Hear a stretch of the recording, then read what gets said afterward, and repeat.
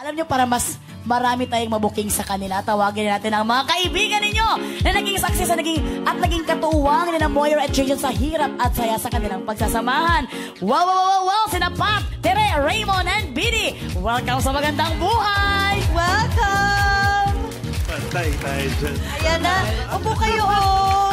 Welcome sa magandang buhay. Ay, best friend. Dito, dito kayo, oh. Ayan. Ay, bumati naman kayo sa ating mga kapamilya. Grabe, lapit na natin. Hello. Hello. Ngayon natin malalaman ang closeness nyo. Kayo ba, mga friends, ay ah, gaano kayo kasaya na ikakasal si Moira kay Jason? Unahin na natin. yes, Ma'am Shikals? Hindi yan si... Ah, ah, Ay, pero hindi. Uy, patawarin mo ko. Sorry, sorry, sorry. Yes, Tere. Ayun po. Siyempre masaya. Super saya. Kasi they deserve each other. Ayun. Yes? Ako po, sobrang saya. Kasi nang, nang nag-propose po si Jason, nasa Australia po ako. Tapos naka-video call lang kami. Tapos, nung nag-video call kami ni Moy, umiiyak ako dun sa Australia mag-isa. Parang sobrang saya ko lang na, parang finally, nag-engage na sila. Oh.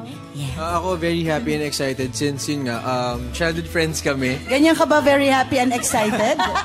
Um, yun nga, since childhood friends kami, nakita ko na nandun ako sa lahat ng ex ni Jason. So si Moy, so si Moy yung pinaka nakita ko nagpasaya sa kanya and nagpabait sa kanya. Oh. Nag-witness yun pala pala yun. wow. Ako rin, sobrang excited.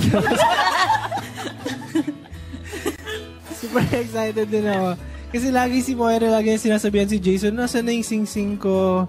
Tapos, kasi lagi tagal-tagal mag-prepare ni Jason. Tapos ayun, finally, sa Monday, kakasal na sila.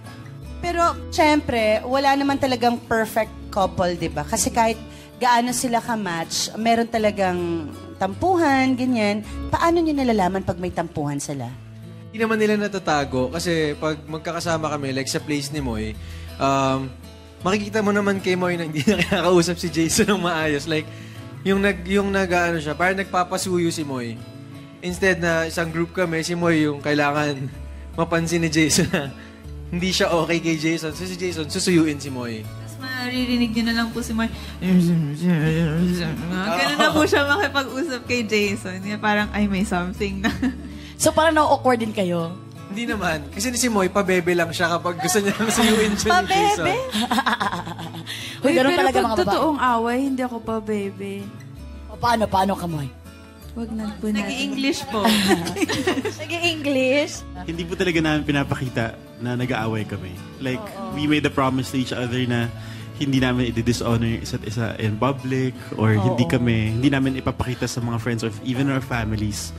Kasi yung fight namin is between us. And Tama. kapag nagkwento ako kay Raymond, tapos nagbati na kami, si Raymond parang masama pa rin yung tingin kay, kay Moy. So, we made a promise na sa amin dalawa lang. And naayusin namin yan. Tama Parang yan. mas kaibigan ka ba nila? Ah, wala na.